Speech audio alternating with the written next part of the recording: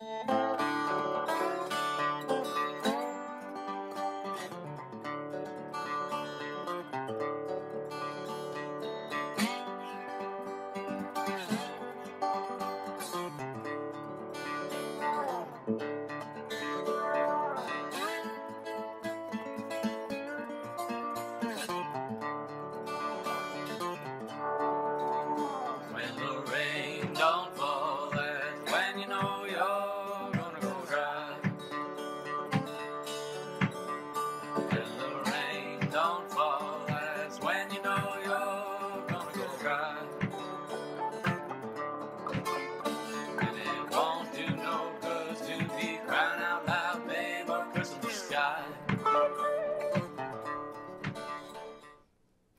Welcome to Thinking Green. My guests tonight are Mike Alewitz and Emma Willer, and they've both been on before, and I'm going to hand it right over to them to start with. Well, we did, Emma and I discussed some things today in preparation for the show, and we did want to say something at the beginning about Aaron Bushnell, who was the 25 year old airman who immolated himself in front of the uh, Israeli embassy in Washington on Sunday. And um, he was an amazing person. I don't know what his background was, but if you uh, read the statement and watched what he did, he was so articulate, he was fearless, he was calm, and he set himself afire, took his own life uh, in opposition to the genocide in Gaza. And uh, we felt we needed to say something since it's what we're going we're to be talking about, uh, the occupation tonight. Um, and uh, he really is a martyr, and his name should be honored. Um, he, even as he lay burning up in agony, kept yelling, Free Palestine. And I think a number of people online have noted that what happened in those few minutes really exemplified the best and the worst of what goes on in this country. Because while he was making this incredibly heroic sacrifice, the Israeli guard and the cops, at least one of them had their gun on them instead of trying to save him, instead of uh, getting a uh, fire extinguisher on him, they had the gun on him, revealing just the whole nature of the rotten, militarized police force uh, in this country. And of course, the Israeli cops are totally enmeshed with that. Um, but um, I think uh, over time, uh, we're really going to come to uh, have to carry on some things in honor uh, Aaron. And it's an amazing thing he did. Uh, uh, we should all be very proud of him for doing that. Well, thanks for bringing that up because the U.S. press really is not covering it, if at all, not really communicating what the motive was at all. Fortunately, it's all online. Yeah. And a lot of people have seen it. Um, but yeah, of course, the whole media coverage of the events in Gaza is a nightmare from the corporate media in the United States. I mean, it's just insane. Uh, it is so right wing, so jingoistic, so hysterical, and uh, so backward. Um, it really, I, it, for me, I think watching these events is so revealing about the nature of the decline of capitalism, even more so than things like Vietnam and stuff. It's just an entire horrific charade of lies. And uh, yeah, but fortunately now we have the internet. You can find the stuff. You need to go look for it, but you can get information. Um, and it's important that we do that. I think half of our effort uh, uh, that when I talk to people who are like reasonable people, usually, uh, but are, are only read the U.S. media and are so incredibly uninformed and misinformed that uh, it's just unbelievable. Even Haaretz in Israel, which covers, it, um, gives out a lot of information. It, it has the right wing stories in it, but it has the left wing stories in it, and it doesn't really shy away from depicting reality. Uh, you know, and, and of course, there are human rights groups in Israel that are documenting things, uh, you know, from a very close vantage point, and it, it isn't getting to the U.S.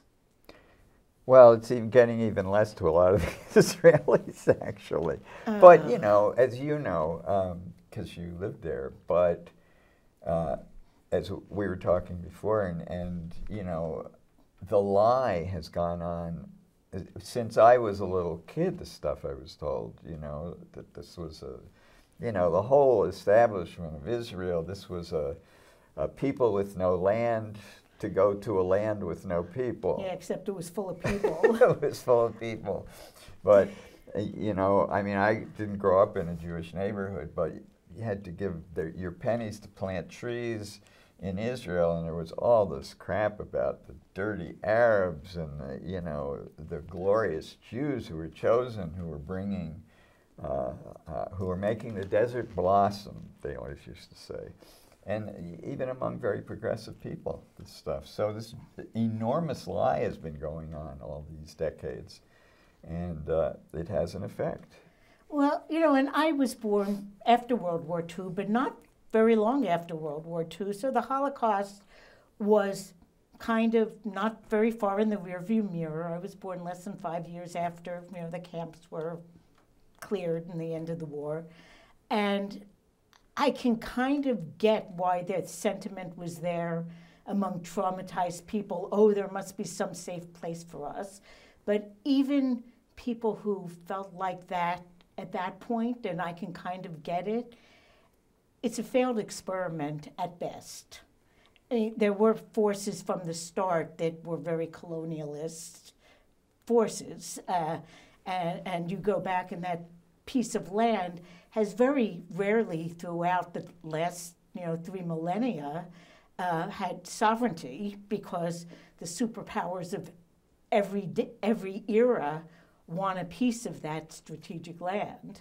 Uh, Well, what's yeah. what's amazing uh, about this, and what's so revealing about what capitalism and Zionism has done, is that Jews had a incredible history of struggle and were victimized from the pogroms, from from Nazism, from all that, and yet mostly were socialists and radicals of one sort. Yeah. My my uh, grandparents were all communists and anarchists, and this was very common. And had this, and they were all proletarian. They were all poor workers, and um, so even what happened in the Holocaust the Jewish Holocaust, because of course there's other Holocausts that are never mentioned.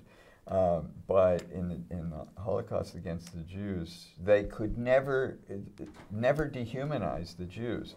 But the Zionists have managed to dehumanize a big section of the Jewish population in Israel.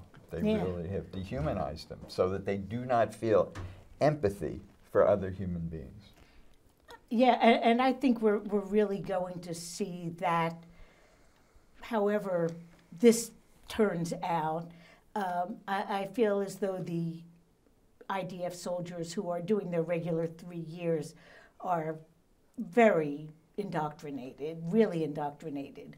But I feel as though the reservists who are in their 30s and 40s, who have wives and kids, who, who spend a month or two in Gaza, I think a lot of them are going to come back broken. And we have not seen the, the end by any means of people who are physically damaged, traumatic brain injured, uh, PTSD, uh, and the amount of substance abuse and addiction, domestic violence, depression, suicide. I think is something that is the Israelis just are not really well prepared for. Well, and there has in the past been a history. There was a, a anti-war movement within the Israeli army at one point. yeah, You know, so um, they've really done a job on people, but you know, ultimately, Israel is over. This whole thing has, you know, Ham- Hamas is not a progressive group, but this whole thing, this resistance and the international response has laid the basis for a genuine discussion uh, of apartheid in Israel, which has never happened before. Right. And it's the beginning of the end because what, what's, what are they going to do? They have no plan. Their only plan is to uh, kill Palestinians and grab the land and the resources. And that doesn't solve the problems for working people in Israel. No, in fact, uh, I looked at, I get a daily thing of uh, Haaretz do too, headlines. yes. And yeah, I think it was yesterday or the day before, three of the articles basically said the, the plan for the day after is there is no plan. Yeah. Um, so anyway, I want to Yeah, let's get get back a little to Red Square. And Emma, uh, I found on the internet that you had made a, a movie recently, a 10 minute uh, uh, YouTube. video. YouTube video, which I found. And uh, so, what is Red Square doing about this? I know that a couple weeks ago I was there and the old Breaking Walls video was also being shown. But, um, you know, I don't know. What are your thoughts about about getting involved in, in this from the art point of view? Well, you want to take that? No, you can't. Well, um, we're just using the lessons from history and our mostly his experience from going to Palestine and trying to share that with the world and um, yeah, try to teach people about the impact we can have. And that was 20 years ago, and but Right.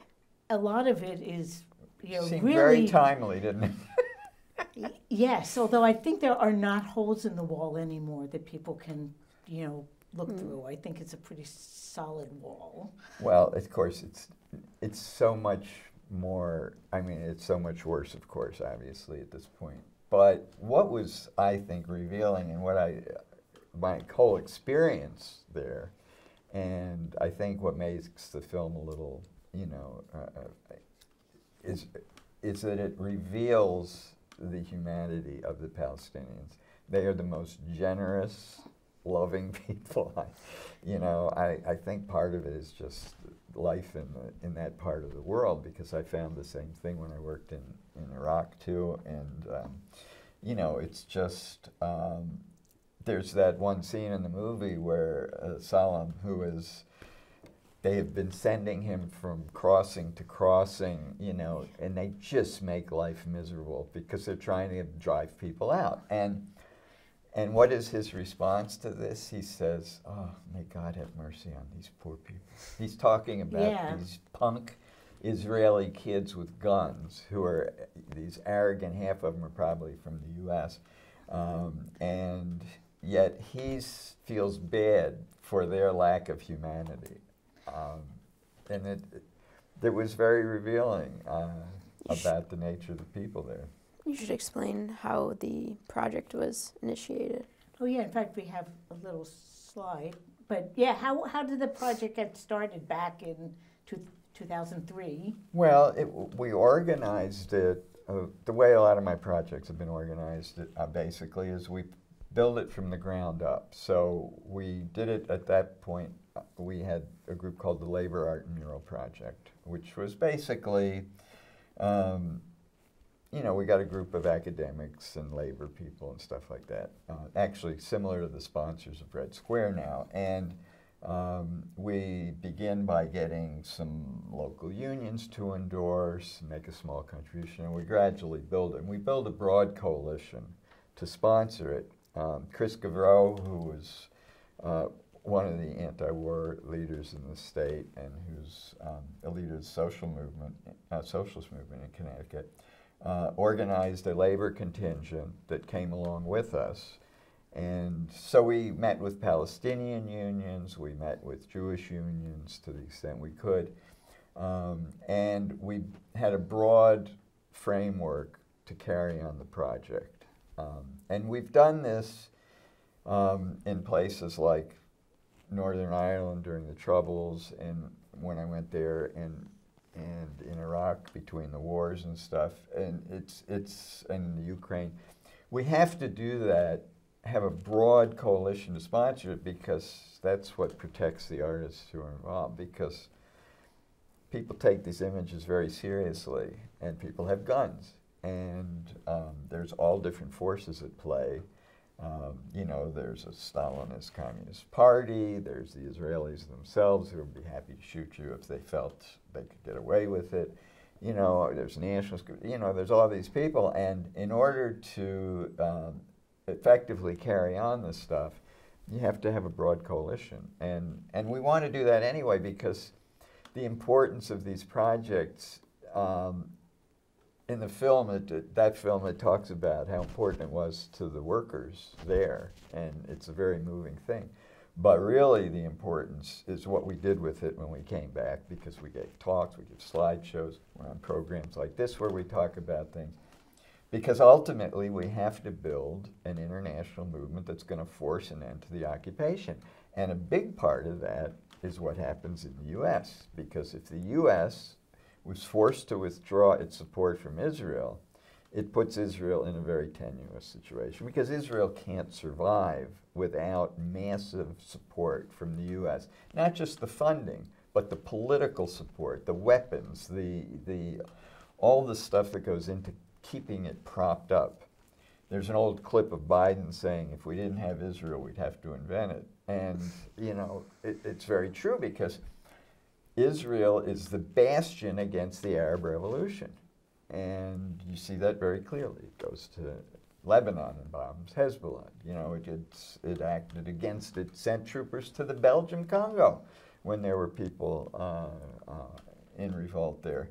You know, and it, that's what it's for. It's a big military base surrounded by kibbutzim that act that create little socialist socialist enclaves um, that provide this image, right? Right. Well, even you know, one thing we were very aware of when we lived on a kibbutz was internally it was socialist, and there were some good experiences there, like learning about how like work can be organized in a way that isn't hierarchical, as you see so often in the U.S. But I mean, there were was were no illusions. It was a capitalist entity in terms of dealing with the outside world. Well, the whole thing is theater, essentially. It's a nightmarish theater, but you know, whenever you listen to these these jokers um, defending the the genocide, you know, it's like, well, we're the only democracy in the middle. You know, all yeah. this crap. It's just it's just made up, and um, you know, well, we we don't we don't do genocide. We were the victims of genocide. And we're very careful about who we kill. Meanwhile, there's you know tens of thousands of children being buried under the rubble, and it's it's bizarre. Um, but if you say it long enough, decades long, then there are a lot of people who, who can believe it. But hey, it's falling apart now. People are seeing it. Amidst all this uh, horror that's going on, the bright light is the massive demonstrations, the millions of people. This has never happened yeah, before. Worldwide. Yes, right. International, a global movement of outrage by the working class and just not accepting any of this crap that they're anti Semitic because, of course, these demonstrators are, are not at all, they're the ones who are fighting anti Semitism by building working class solidarity and it's it's all collapsing. Israel is done in, in, in long-term thing. There will, there's not going to be two states in there. There's either going to be capitalism, in which case the world is doomed, or we're going to make international revolutions. We're going to do what we did in South Africa, which is to overthrow apartheid. Uh, and and that I see is really the only reasonable path forward. When we were there, uh, one thing um, that was quite different from when we saw both the you know 2003 film and uh, pictures from w- what it is now. Everything was wide open. They actually hadn't built any. There was the occupied territories and there was Israel, but there weren't any walls between them or checkpoints between them. Like the road maybe was paved better on the Israeli side than the Palestinian side, but you kind of got a glimpse at that time of what like a single state could become. Well, it's And- there should be a democratic, secular Palestine, and that's Yeah. where Jews can live as they did before the establishment of Israel, and you know that is the only solution ultimately. Well, it really it has not become a safe haven that I think maybe idealistic, naive people thought 75 years ago, because I'm sure the Jews in Israel are not staying awake in the middle of the night worrying about me and you in the U.S., like making it through the day. But I wake up in the middle of the night thinking about these reservists coming back to their families totally messed up. And, you know, the mental health workers, you know, leaving for the UK because the Netanyahu government can't even fund mental health services. Um, so I can't think of a more dangerous place in the world right now for Jews to live than Israel. So but it's not because of anti-Semitism. no, no, it it's, not It's just because it's because they're a colon- colonizing power and doing Absolutely. horrific things to human beings. And yes, all the things Yeah. that happened to my generation in Vietnam is going to happen to these. The, Yeah. You know, it, for me, it's always been very interesting because I was a victim of anti-Semitism when I was a child. You know, and it was real. And these people, these young Jews that I meet, they've never suffered from anti-Semitism. They've never been beaten up because they were Jewish. You know, they, and uh, this reliance on this victimhood, um, it's it's it's unreal. It's it's the it's the Palestinians who are the ones who are the victims of anti-Semitism. And actually, a lot of the Christian Zionists, I think, are very anti-Semitic. I, I, I could do a whole show on my wariness of Christian Zionism because, you know, the, some of them they want the second coming. They don't care if everyone who's already there dies. So, um, but let's. Um, so I know you've been on the show talking about your labor murals. Uh, all around the world. So we have some slides of some uh, of the three murals you did during this uh, trip to Palestine. How long were you there, by the way? I don't know, month to two months. I don't know. Okay. It wasn't a lot of time. um, these these things are painted very quickly.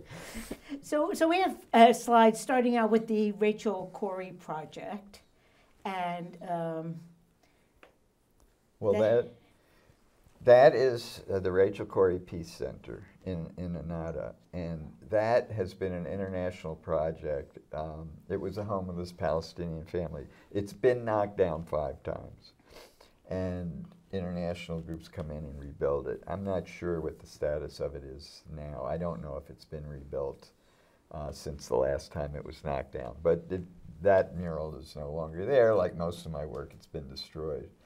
Um, but that uh, Rachel Corrie was a student from Evergreen College out in in uh, Washington, and um, she was uh, a solidarity activist who was um, uh, helping expose the the home demolitions that were going on because.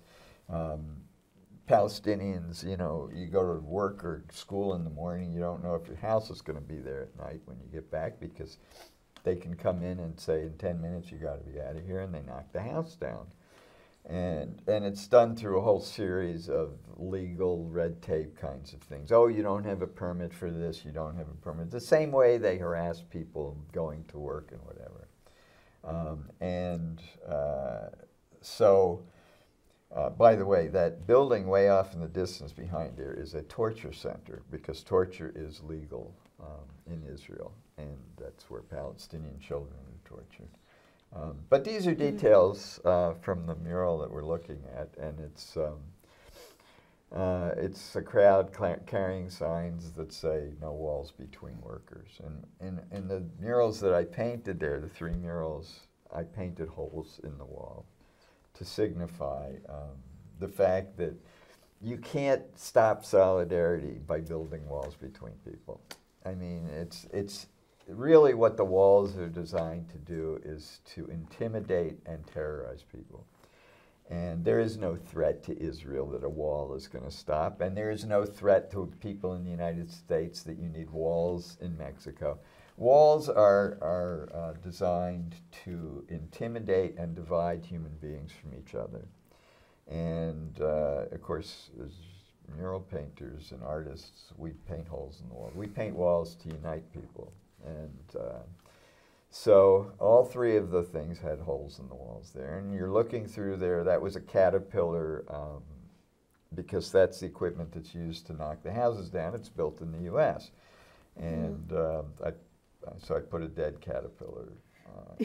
You know, uh, Jeff Halper, who you know because Yeah. he was probably at that time working in East Jerusalem preventing house demolitions. He was, he was there in Anata, yeah. And uh, and uh, he did a presentation at Voluntown Peace Trust and one I think at Mystic Community Center, which I went to, maybe in 2004 or five, and. You know, we had been involved in the whole Fort Trumbull demolition, and he was showing slides of the East Jerusalem demolitions, and it's like, oh my gosh, it looks the same. It's the same equipment. It, it, it just kind of looked the same. Uh, one thing, when I was reading um, some of what Rachel Corrie had written, and it's very apropos to New London, is how in Washington the murals are whales. And I'm thinking, in London the murals are whales.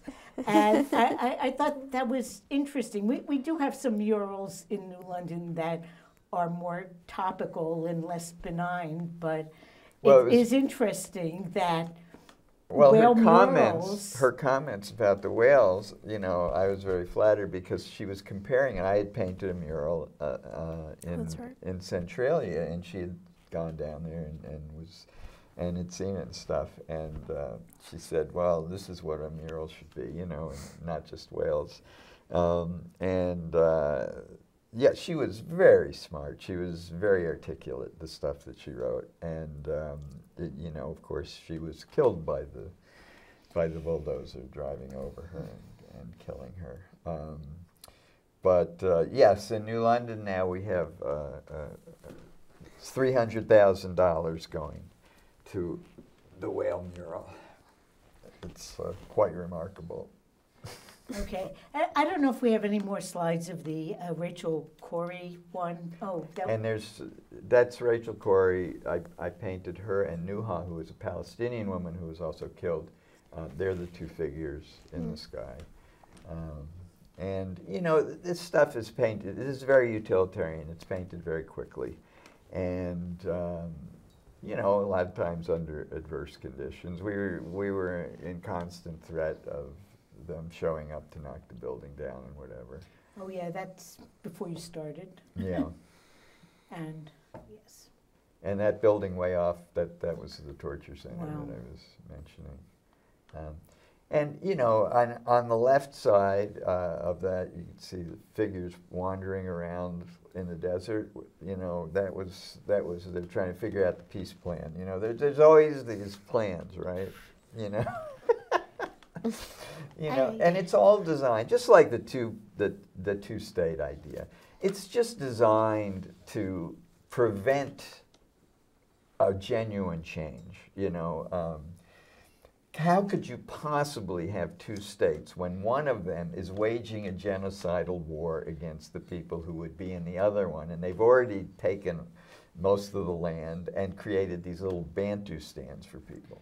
Oh the the, the map of the wall. Um, there was a, a, an event last Friday night, I think, at Hearing Youth Voices, they're getting a group together to, to talk about Palestine. And they had pictures on the wall uh, from a previous session. And one of them, I real, did a real double take. I forget what the whole thing, what the quote was about it, but it said it was on the Palestinian side of the wall in Bethlehem. And I'm thinking, Bethlehem is nowhere near the old Green Line. And then I looked at a map, and there are like walls all, all over. And I knew about all the highway system that was displacing residents, but it it's, was just incredible how many little walled in areas there were. It's insane. It's, t- it's completely And it's not a very big area. I, I know someone I know was talking about, oh, we need uh, the U.S. or some world powers to have a demilitarized zone between Gaza and Israel. And I'm think, thinking Gaza City is 45 miles from Tel Aviv, uh, which there are rockets that can go more than 45 miles. And there are three decently large cities, uh, Rishon LeZion, Ashdod, and Ashkelon, between them, that among those cities has over half a million people living there. It's like there isn't space for a no man's zone, uh, a no man's land between them. It just, it, it really isn't practical, and I don't know. It's all designed to expel people. Life becomes so difficult. It's it's an expulsion without an expulsion is is how people now we're seeing an expulsion that's an expulsion. Right. they look- now we're seeing ethnic cleansing, and you know they're going to go into Rafah. Million and a third people there. And what are, you know they're just going. What are they going to do? They're going to kill a lot of people. Uh, they're going to try to drive them into the desert or into the sea, and uh, which is you know quite ironic because that's what uh, the Jews always said. The Zionists, not the Jews, always said, "Oh, that that the Palestinians want to drive us into the sea," and it's the Zionists that are driving Palestinians into the sea. Well, you know, I have a little screenshot from, I don't know, the Likud charter of, I don't know, maybe 1980s, something like that, or late 70s, that basically does say it's going to be, we want it to be Jews only from, you know, the Jordan River to the Mediterranean. So every time I, I mean, I hate to say it, I don't post, start, initiate posts on Facebook, but I do answer them. And if people start out with, oh, you know, Hamas wants to, you know, they say from the from the river to the sea. I take my little screenshot out and say, you know, Likud said this a little bit differently, but and, and worse. all of the corporate press in this country uh, uses this thing. They say Palestine will be free from the river to the sea. They say that's anti-Semitic, and and the universities are using it to go after student activists and stuff. And how can saying you want a free land be anti-Semitic? And but this is they're so used to the big lie and being able to get Yeah. away with it, you know. Um, a- a- and, and I think there are a lot of naive people who do believe it. So the next mural, um, and I think I only have one slide of uh, of the um, the bread and, and roses one. Um, Bread, roses, and Handala, Yeah, I think I have the whole name on it. Um, and where was that one uh, painted? We can talk about it while they find the slide for it. That was in the Beit Jabrin refugee camp, and um, it, it and uh, that's it's about 25 feet by 25 feet or something. And uh, it's Handala is a cartoon figure. Uh, it's he's Handala is a Palestinian child, and you never see his front. Uh, he only you only see his back. He's never going to reveal himself until Palestine's free. And it's a wonderful little character. I forget the name of the cartoonist who did it, but um, so we put uh, Handala in there. Handala is looking down the railroad tracks, which um, I put into uh, all three of the murals because, um, aside from having been a railroad worker, uh, there was Didn't know actually you were a railroad worker. uh, yes, he laid the tracks here in town. I laid the tracks through New London. Oh, wow. this is a long time ago. I was, yeah, I was a track laborer when the high-speed concrete ties were put in. Oh, It's just a coincidence that I'm back here. It had nothing to do with, with my earlier life swinging a sledgehammer. Um, but uh, anyway, so Handala is looking down the tracks. But it's a reference also to the events in Haifa, where um, in 48 there was unity between the Arab and Jewish workers, uh, railroad workers.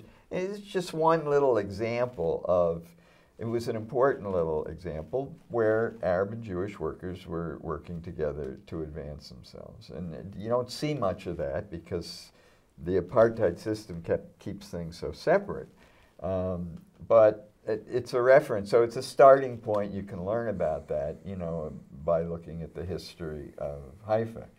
Above that is Bread and Roses, which is a symbol of the labor movement, uh, which comes from women textile strikers in Lawrence, Massachusetts, who carried a banner in, in the um, strikes of 1913 that said, We want bread and roses too. We want uh, economic well well being. We want a decent wage and working conditions, but we also want beauty in our lives. And and really, it's it's it's the vision that that we socialists have of what life should be like for working people.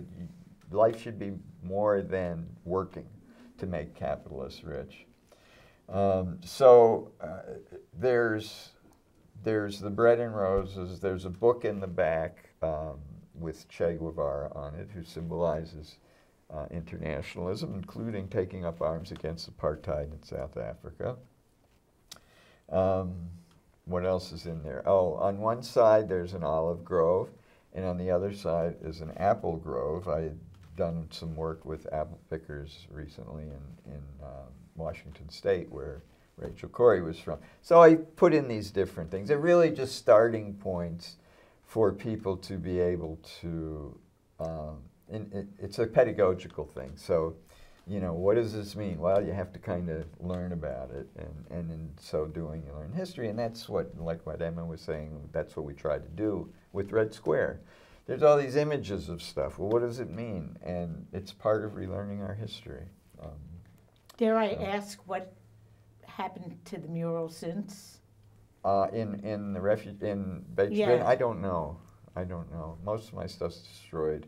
Um, it could be there. I I have not heard because I haven't heard from people. Um, it's you know uh, I don't I'm not in contact with them. Um, but whether it's there or not, um, of course, uh, the refugee camp itself was in terrible conditions. You know, it was, it was out. It was at, while I was painting there that you know I, I, I learned that there were children who thought a tank was a Jew. They, you know, it, it- I, I like to explain this to people who who will hear, you know, uh, anti-Jewish stuff, because the Zionists have presented um, themselves as being the Jews. And in this extreme example, the tanks came into the city, and it's the Jews. That children thought the tank itself was a Jew, you know. So when you when you do hear these examples where somebody says something that would seem anti-Semitic, it may not necessarily be that. I mean, it could be because obviously there's still plenty of anti-Semitism in the world, anti-Jewish uh, stuff in the world, but it's it's because the Zionists have portrayed themselves as the Jews, then you hate the Jews. I think I, I do agree that that's kind kind of coming back to bite groups like Anti Defamation League by equating even critique of the current government with being anti Semitic. People who critique the, the, the government now think, oh, I, I guess I hate Jews now, which might not have been a connection that, that was even on the radar screen. Well, Anti Defamation League, which started out as being you know, a defense against anti-Semitism, and just became very right-wing, and in fact was very involved uh, with uh, government surveillance and uh, victimizing anti-war activists. And uh, we were, as we were talking before this thing, because while you guys were having a party over in the kibbutz in Israel, back here, Yeah. um, like in Texas, Yeah. we were getting death threats from the Maccabees and the Jewish Defense League. There was a time when really it was a physical danger to be an anti-Zionist uh, Jew. We were called self-haters, you know, and, and all this stuff. That's not true anymore, uh, you know, and, and fortunately. I mean, there's still some uh, right-wing Zionists and, and, you know, and just confused kids who will think that. But in fact, um, this is really the first time um, in my in my over 50 years of being an anti-Zionist that I have seen like Jewish Voices for Peace Yeah. being out there, and and um, it's just wonderful, wonderful to see this uh, for the first time. Um, There's a lot of oppression though on college campuses, though. very A lot bad. of students are are um, yeah being oppressed for speaking out They're going after them. and They're- being Yeah. attacked in Rutgers. I believe they were attacked. Um, yeah, in Columbia. Columbia. and uh, who knows where else, you know. And there's just a lot of informal pressure too. But it's not really working because the students are standing up and, and fighting back. You know. Well, when we were students, we weren't listening to what the, the admins were, were, were, were, saying. Okay, so there's one more mural that, uh, that you did um, right over the uh, line in, in, into, into Palestine, right? So, well, this was uh, with the pa- uh, construction yeah, workers the construction workers Yeah. one. in. Um, And Yeah. The walls between workers.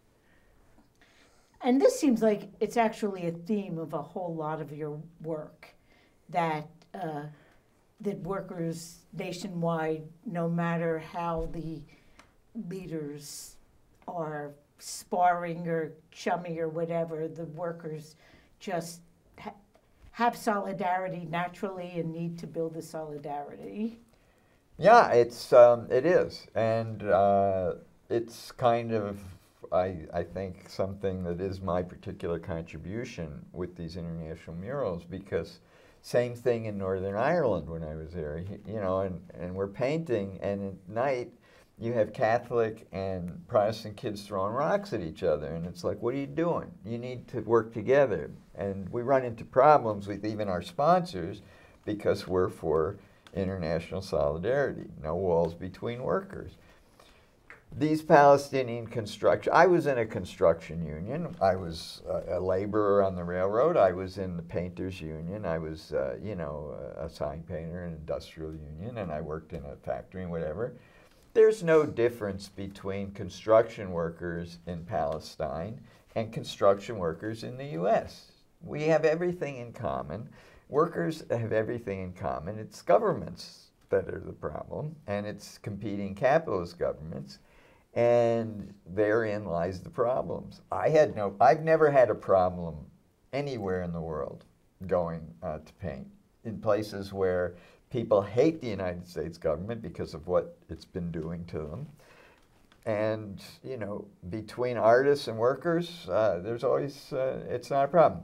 And there's that group of people in front of the um, thing. Uh, the reason that we had that slide was because um, that's a group of people at the dedication of that mural, and and we were singing the Internationale together, you know, and it was total, and it it exposes the myth that this is um, all this religious fundamentalism and everything. In fact, you know, these places have been very secular.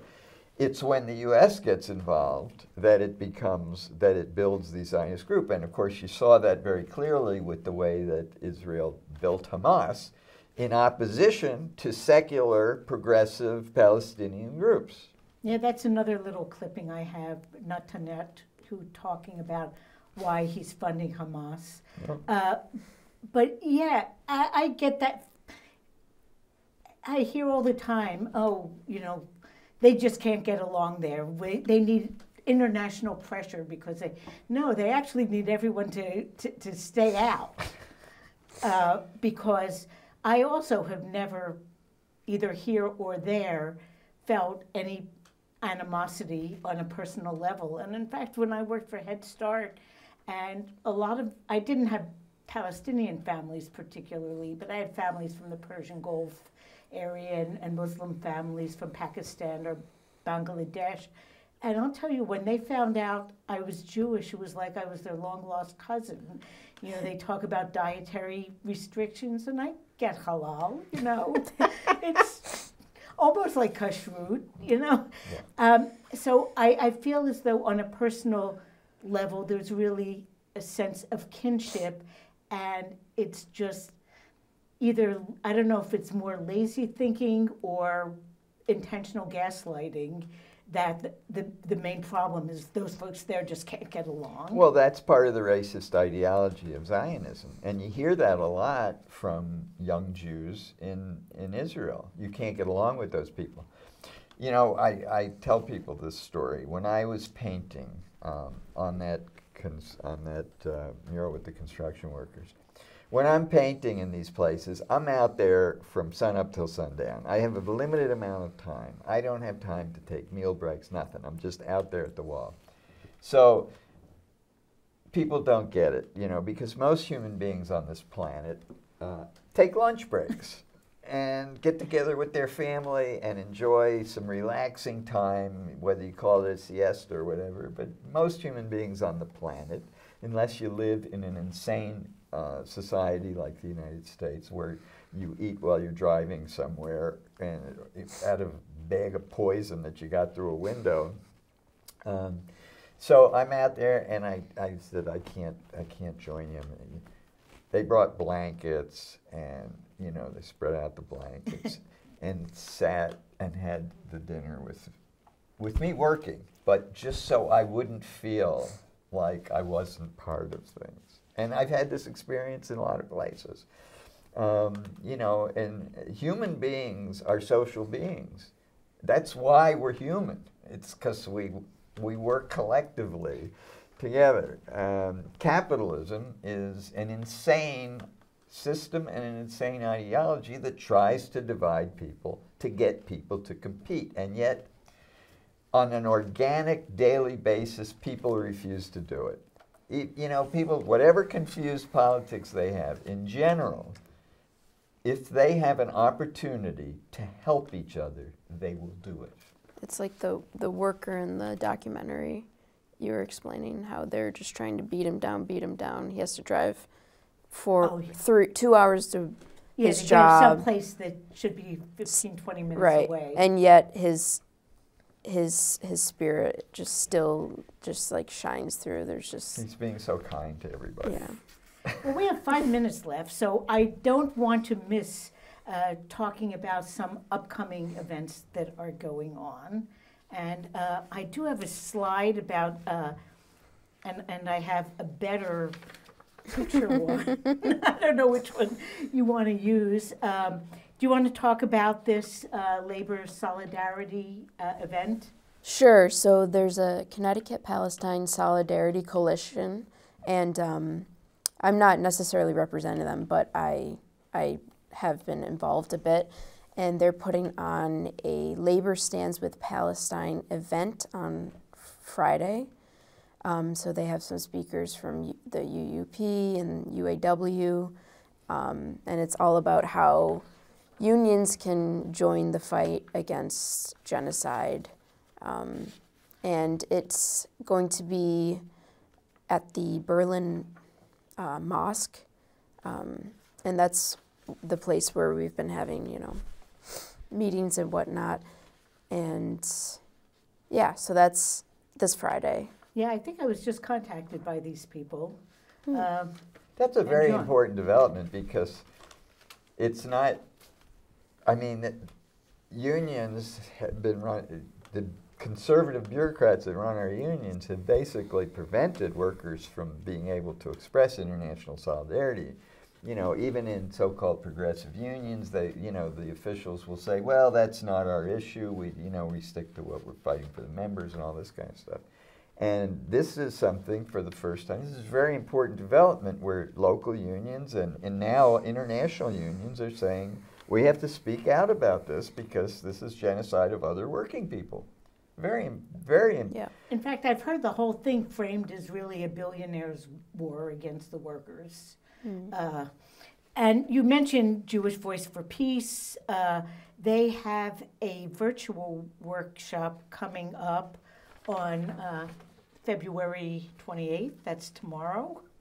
Um, so, one other thing that uh, is happening, uh, yeah, we can maybe zoom on it. so, Also, um, if people are interested, um, we have, Emma's been putting together videos and a website. And if you go to redsq.org, redsquare.org, redsq.org, um, you can connect with different information, different videos and stuff like that. And we're in New London, and you know you can arrange to come visit. yeah, whatever. the too. big red cubicle building. and, and Emma's been kind of the archivist and videographer for, for putting this stuff together. And I did find, you know, a video that's about 10 minutes long, I think on your website. But the Breaking Walls video, if you do a search on Breaking Walls Alewitz, Yep. it's the first hit, and that's more like 40 minutes, but it's i- i- it's a really interesting profile of uh, the construction of that last mural that we sh- we showed. Right. And uh, in, as we only have about one more minute left, I also want to kind of say uh, Thursday night um, for all you voters out there, um, the Free and Equal um, organization um, is having their uh, online streamable debates with uh, the, the, the candidates, five candidates who uh, will not be allowed to be in the major debate. and they, they're, they're, they're so across this political spectrum that both Pacifica and Epoch Times are streaming them. So Which it- are the five parties? uh, socialist, uh, Claudia uh, De La Cruz, Oh. Jill Stein, um, oh gosh, um, the other one. Never whose mind, name? don't Yeah, who's running for the Green Party. Red, uh, Jasmine Sherman. oh, Jasmine Sherman, and two right wing guys. Uh, a libertarian and maybe a constitutional party. But, you know, the questions are likely to be uh, more interesting than Trump versus Biden. Well, that will be more entertaining. I It mean, will be more is- it- entertaining. it- you have two old, doddering idiots, and you know, really, the whole age thing would be fine. In some societies, you honor the elderly. They, it, it could be that old, that people of that age would have experience and knowledge Right. and wisdom. But that's not what we're talking about here. No. We're talking about the dregs of society, uh, the Trumps and the Bidens, which represent the worst of what is Yeah. possible. It, it seems to be the choice between uh, Civil War and World War. So, but anyway, it's time to end the end the show on that cheery note. Is there anything going on in, really quickly at Red Square in the next week or so? Just hopefully new videos and updates on our So, website. fo- so go to the website Yep. redsq.org. Yep. Yeah, and and people can get involved. You know, we're a very modest little um, initiative, and you know, we're trying to, you know, reveal some of the history of our class. That's what a lot of this is about. We have a very militant. Uh, the working class of this country has done wonderful, wonderful things in the past. I was, you know, and it, when you see what, for example, Aaron Bushnell did, it brings up the whole thing of how, you know, workers in this country ended the war in Vietnam because it was the army that refused to fight. We have a great militant history that we have to relearn and we have to reknit an international movement. If we don't create a socialist world, then we're doomed. Well, thanks, Mike. Thanks, Emma. We'll see you next week. Uh, Out CT. I'm not sure who's coming from Out CT, but Out CT will be our guest next week. So thank you for coming on. Thanks for Thanks. having us, as always. Melanie.